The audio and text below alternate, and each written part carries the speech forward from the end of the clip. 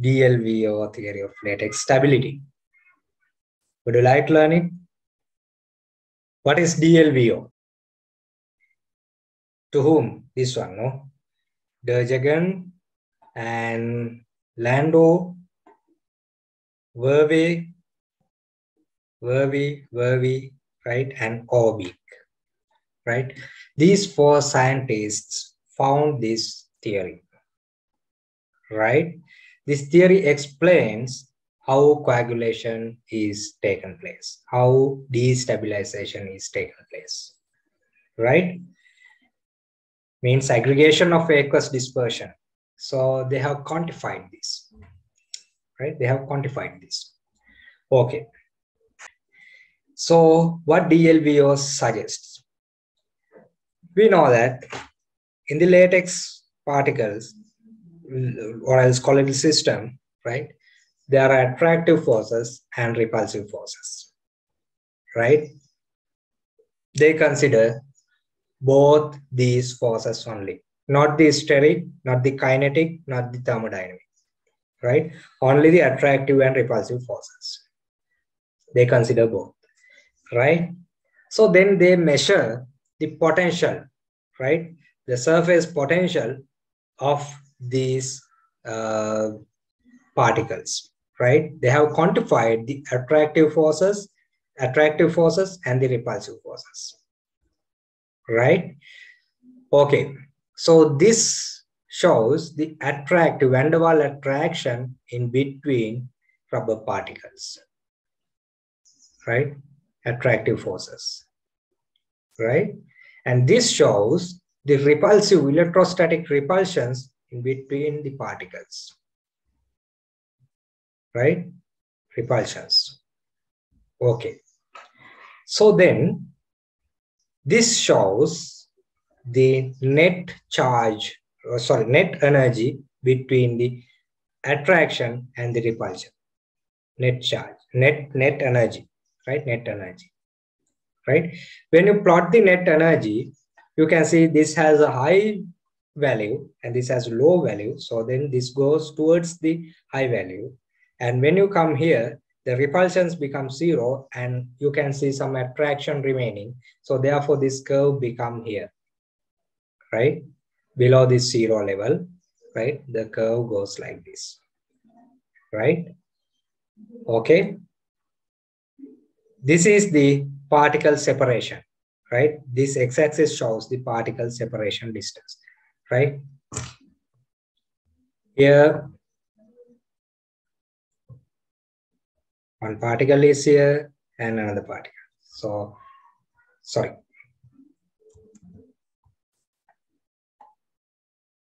These particles, so another way around, right?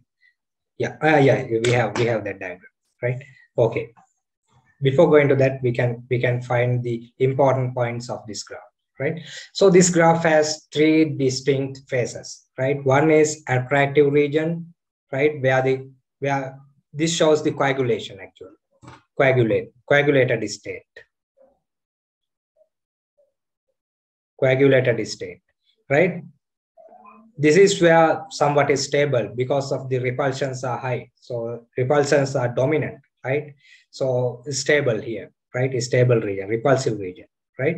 Here, somewhat as attractions are there, right? Somewhat attractions are there here, right? So where you can see some uh, flocculation.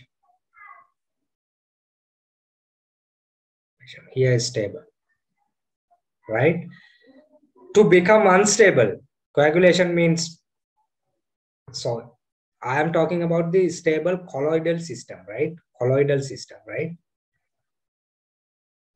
Right? this is the, this liquid system right colloidal system is stable in this region when it is coagulated liquid system is not not stable it is unstable here ඒක තේරෙනවනේ liquid එක unstable කියන්නේ coagulate වෙනවා destabilize වෙනවා හරි liquid එක stable කියන්නේ එහෙම නැත්නම් colloidal system එක stable කියන්නේ it is available as a liquid state right එහෙම නැත්නම් in terms of the stability ගත්තොත් එහෙම නැත්නම් kinetics වලින් ගත්තොත් coagulated state is more stable than the liquid state that's why i asked in the uh, previous viva also So once you one when you complete the latex product uh, processing steps means once you product uh, let's say you are doing uh, you are you are producing gloves once you produce the glove right uh, or else until you produce the glove right until you produce the glove you are at a big risk because you are working with the colloidal system right at any time because of thousands of reasons it can coagulate you are a big risk right uh, latex එක වැඩ කරනවා කියන්නේ හරියට උලක් උඩ ඉන්නවා වගේ. එහෙම නැත්නම් දෙපැත්ත කැපෙන පිහියක් උඩ ඉන්නවා වගේ. කොයි වෙලාවෙ කොයගුලේට් වුණොත් ආය වැඩක්ම නැහැ ඉතින් latex. in the latex industry coagulate වුණොත් latex එක වැඩක්ම නැහැ. right? එතනින් ඉවරයි. sometimes you will lose your job even. right? or else you have to pay repay it. If you are the supervisor or whatever, you are the manager or whatever, right? So, but in terms of kinetics, kinetics in terms of kinetics this is the solid liquid emulsion right If it pass the energy barrier it will become a colloid a co coagulum the coagulum is more stable than solid liquid emulsion Emani? this is a solid nothing happened there right but this is emulsion right so it's like keeping a bottle in this way right? The coagulum is like keeping a bottle in this way on a table, right? More stable. This is less stable, right? We are talking about the stability of this, right? If attractions are there, this one is also more stable. But when it passes this energy gap, this will fall, right? Means not stable, right? This instabilities, instabilities discussed here, not this one, right? We are talking about the stability of the emulsion. That's why. So බලන්න අර උලක් උඩ එනත ඔන්න මෙන්න වැටෙන්න ඉන්න කෙනෙක්ගේ stability එක ගැන කතා කරන එක හරි වැදගත් නේ. මෙයා ගැන අය කතා කරන්න දෙයක් නෑ. එයා already stable. Right? Okay. So you can see two instabilities here, right? One is risk of coagulation here. If this pass this net energy uh, Vmax, right? We, if this pass this energy gap, right, this latex will coagulate. 100% coagulate, right? If VFA development, right, volatile fatty matter development, right? So you can see some attractions in nearby, let's say this is the latex system, right? So here you can see some microbial attack, right? So due to microbial attack, some acids are formed. So then nearby rubber molecules will make a clots, make some clots, right? That is called flocculation. So it is local, right? So this is called the V min. This is actually called so in the next one, right? Uh, yeah, we have those, right? This is called primary mi minimum, primary minimum primary minimum uh, yeah sorry secondary minimum. This is secondary minimum. This is called primary minimum. This is primary maximum right? Primary max primary min secondary min right? We'll, we'll learn them later right? Okay. See this one? Right. So at this point, so this is the distance between two particles. This is the interaction potential, the energy, right? Attraction or repulsion, right? Okay. These are two rubber particles which are negatively charged and having high charge density, having high charge density, right? So then they, they, they maintain some distance in between because of the repulsions. Because of the repulsions, they maintain some distance during Brownian motion, right? Okay, with the time, what will happen? Some acids can form and reduce the negative charge density. Then these particles can come closer. Then further acids are formed, or sometimes we add some acids, right? Then negative charges are diminished, reduced, and the particles can come more closer. So this is where somewhat the attractive forces are dominant, but not all, but somewhat, right? attractive forces are dominant. So then these particles can come closer and another particle can come closer, closer and closer. So they will, they have come closer, but not merged yet. The particles have come closer and they are available like this, right? But not merged yet to make a coagula, right? To make a coagulum, right? Coagula is plural, right? To make a coagulum, right? So they are available like this, right? Without merging, they are available in the nearby vicinity, right? Okay. So if we add KOH, ammonia, potassium laurate, potassium oleate like preservative, long term or short term, right? So then they can improve the negative charge density of the rubber particle, right? Then again, these particles can go to the opposite directions, right? Can go to the opposite direction while increasing the distance between these two particles so among the particles which came nearby, right? When you add preservatives, this happens. That's why it is called reversible aggregation. Reversible aggregation. It's a kind of flocculation actually right? Reversible aggregation means we can detach these right? Because they have not merged and make a lump make a coagula make a coagulum right? So when we add bases KOH ammonia so it can increase the charge density. So then the distance between distance of the the 1 over k right 1 over k will increase the because of the charge density increment so then these particles can go apart, right? and become more stable like this. This is more stable. This is less stable. This system is stable. This is like a preserved, preserved system, right? Stable colloidal system, which is preserved, right?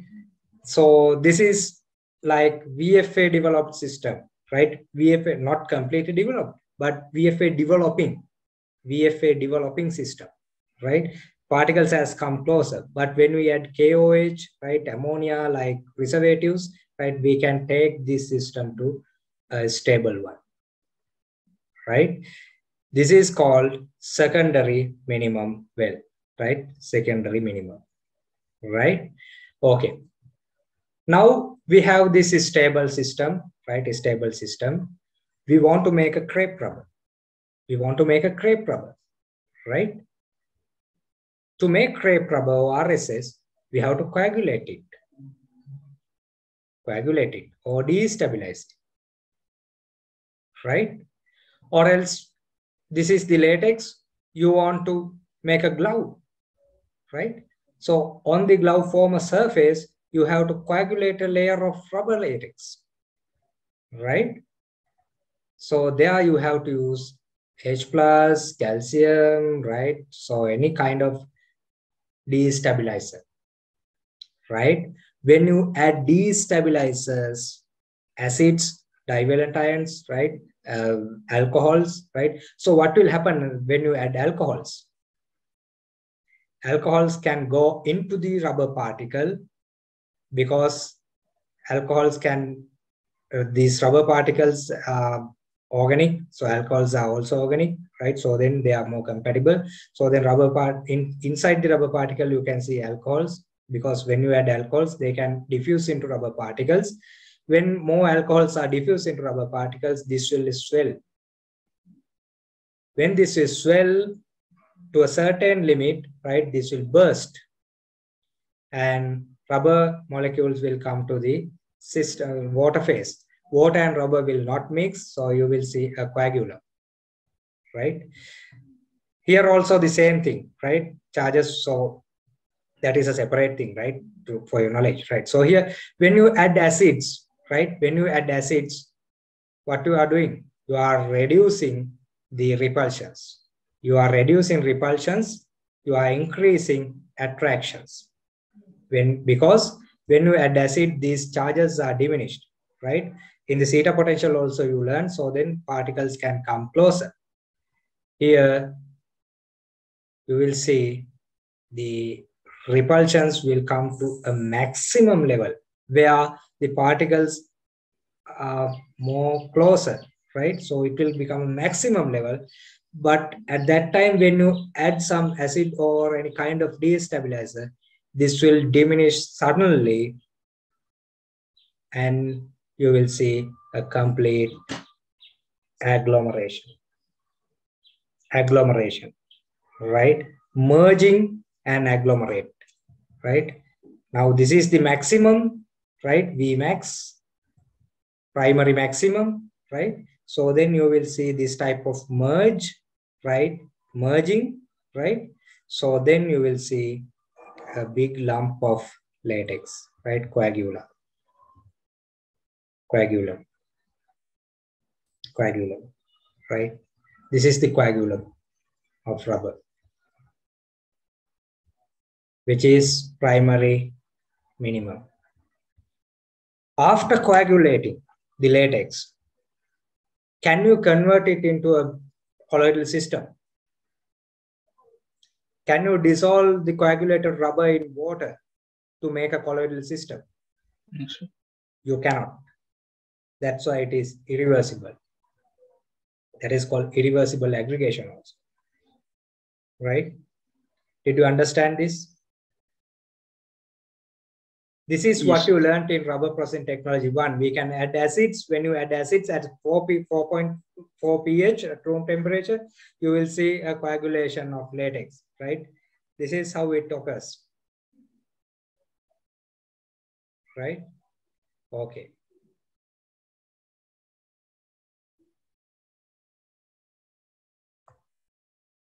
These are some examples to discuss, right? There are several. Okay, net interaction energy is the attractions plus repulsions, right? Particle separation curves where particle size and electrolyte content are constant. So particle size and electrolyte content uh, content are constant now. And the surface potential is, so we are changing the surface potential only, right? So have part same particle size and electrolyte concentration is same maybe 10 to the power mole moles per cubic decimeter is 1 into 10 to the power minus 3 and particle radius is uh, 10 to the power minus 5 centimeters right? Okay these are constant right? We change the surface potential only right? Let's say we change the surface potential, right? So then, if the surface potential is 20, 25, 23, 35, 25, 30, 35, 40, right? So when the surface potential, surface potential, it is just the charge density of this, right? Here you can think of less charge density, and here you can think of high charge density. If the charge density is high, you can see high repulsions. If high repulsions are there, so primary maxima is very high. If charge density is less, primary maxima is very less. So which one has the highest possibility to coagulate? 105. One. One has the highest possibility to coagulate. Five is more stable than all these four. Right? Okay. Then next example, right? So here the electrolyte content and the potential are constant, right? At potential constant. So they have changed the particle radius, right? They have changed the particle radius, right? So here you can see 10 to the power minus 5, 2.5, here 1 uh, into 10 to the power minus 5, right? So here less less particle size no here yeah radius is very less here no radius is very which one has the highest highest radius should be here Two. highest radius? One. First one. This one. Yes. Yes. sir. Here, Lowest radius.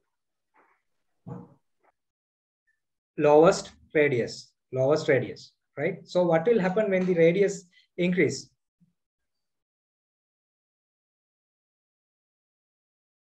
When the radius increase, It is stable. you can compare these two, one and two. This has high radius, this has low radius. The High primary radius, low, down. low radius. Here, high radius, low radius. Low, high. Uh, three. High radius, low radius. When the radius is high, you can see high barrier. High primary max, no? High barrier. Why? More charges. You can see more charges there, no? Right? Because of that. Okay. Then here, uh, potential is same and radius is same. They change the electrolyte content. What we do uh, in the latex coagulation, right? Adding acids to latex. Acids, acids to latex. Latex acid Which one has the highest uh, concentration? First or fourth? One. Highest here lowest concentration, right? Concentration. So when high concentration, at least no primary maximum, right? So means there's a high with with high concentrations, right? There's a high possibility to coagulate, right? With low concentration of electrolyte, low concentration of acids, right? There's a less possibility to coagulate because it has a high primary maxima energy barrier right? When you when you reduce the when you reduce the concentration of the acid you use right? So it will increase the primary maxima. The energy barrier should pass to coagulate is high. Did you understand that?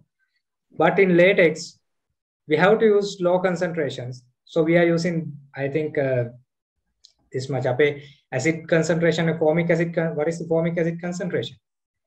We use.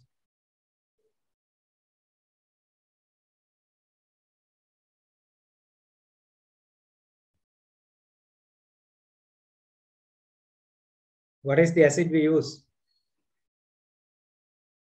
Is this? Or take 84 parts and one part and add 40, 84 water and make it 1%. No? Right? We use low concentration, no? low concentrations, but it is not like this, but it's may, it may be here, right? But however we want to calculate it. But you have to remember that when we increase the concentration, your primary minimum, primary maximum energy barrier is getting reduced, right? Here, no even primary maximum energy barrier. So it will directly coagulate, right? Here you have a small barrier, right? Did you understand this?